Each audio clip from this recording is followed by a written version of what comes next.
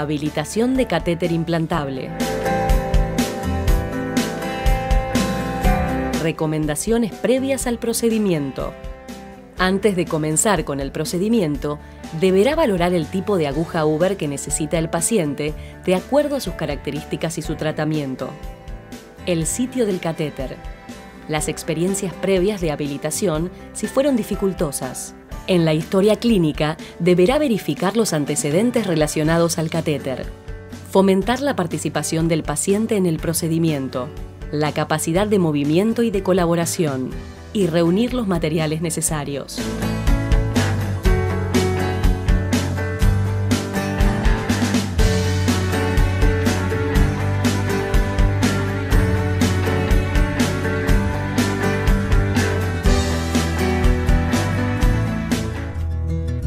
Antes del procedimiento, deberá realizar higiene de manos, chequear la identificación del paciente y explicarle al paciente lo que se le va a realizar. Colocar al paciente en posición semi-Fowler. Posicionar la cama a una altura adecuada y bajar la baranda del lado de la cama donde se encuentre el operador. Retirar cubrecama y la ropa del tórax para palpar la zona del catéter.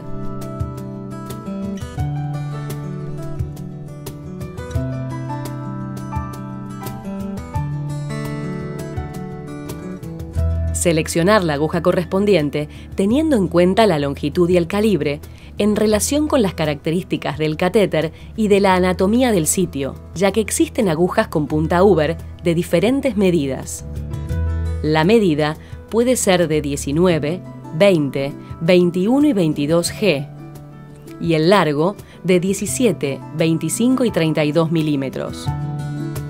Este catéter consta de una cámara con una membrana autosellante y el catéter propiamente dicho.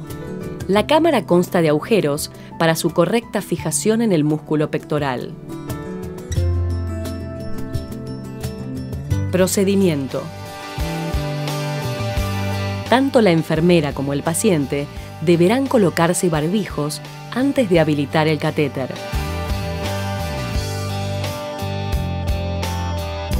realizar la primera desinfección de la piel.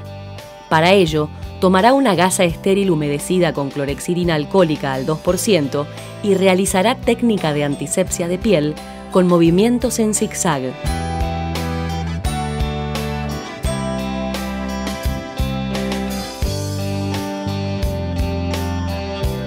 Cambiarse las manoplas por guantes estériles y realizar una segunda antisepsia de piel.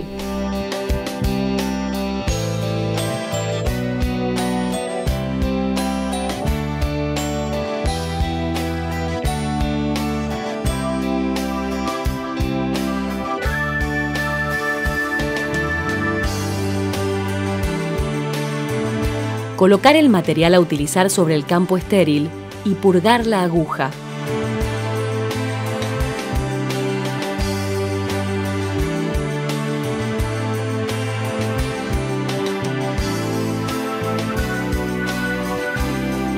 Se carga la jeringa con solución fisiológica, se prepara la aguja adecuada y se purga.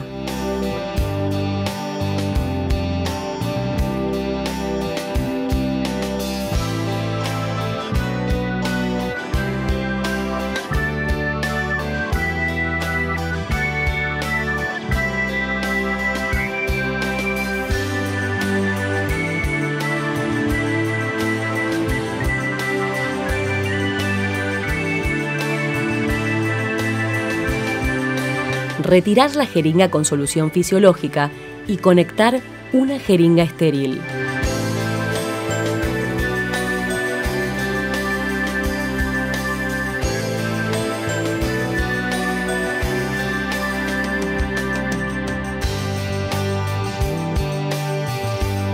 A través de la fenestra del campo, mostrar la ubicación del catéter, tomar la cámara con dos dedos, pedir al paciente que respire hondo y punzar en el medio, en forma perpendicular al plano de la piel, hasta tocar fondo. Aspirar solo hasta obtener retorno sanguíneo con una jeringa.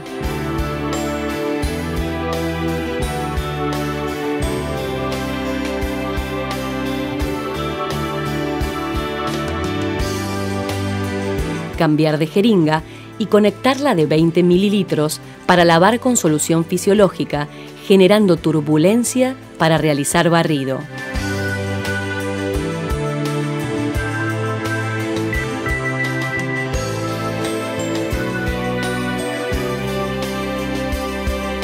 Antes de la conexión, se decontamina con gasa y alcohol al 70%, contando hasta 5.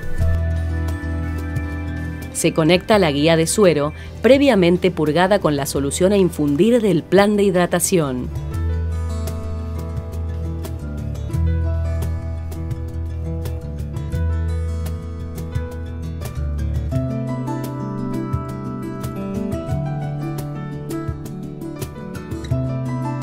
ayudar al paciente a que se coloque en posición de cúbito dorsal, estirar los pliegues de la piel y colocar el apósito transparente.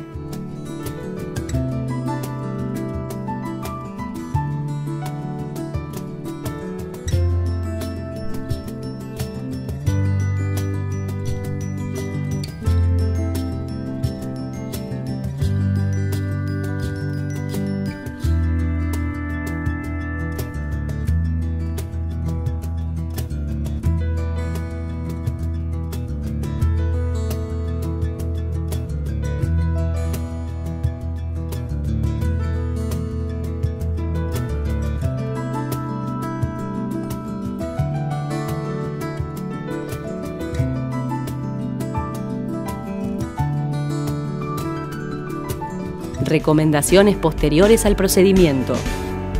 Explicar al paciente que puede mover el brazo sin dificultad, pero sin realizar ejercicios violentos. Controlar que la fijación se encuentre seca y el apósito adherido a la piel. Educar al paciente sobre los signos de alarma. Dolor, molestias, ardor, aumento de la temperatura del sitio, edema, y secreción. Heparinización de catéter implantable. Este procedimiento se realizará una vez finalizada la utilización del catéter, cuando permanece con aguja pero sin conexión a una guía de suero y al presentarse retorno venoso. Previo a la heparinización deberá preparar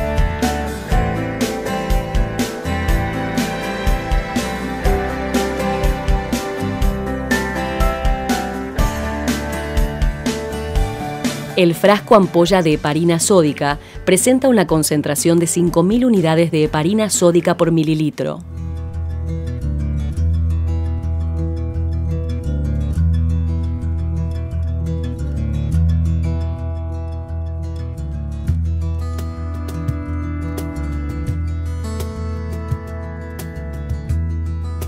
Para obtener la dilución heparinizada, se tomarán en una jeringa de 10 mililitros 2.500 unidades, es decir, 0,5 mililitros de heparina sódica. Se agregan 9,5 mililitros de solución salina, quedando así 250 unidades de heparina por cada mililitro de la jeringa.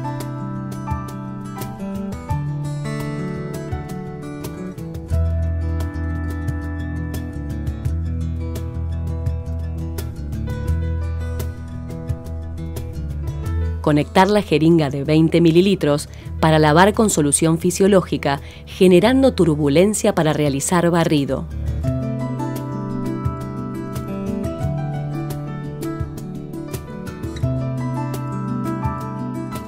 conectar la jeringa con solución heparinizada y administrar 2 centímetros cúbicos de la dilución preparada. En pacientes adultos se administran 2 mililitros de solución es decir, 500 unidades de heparina sódica.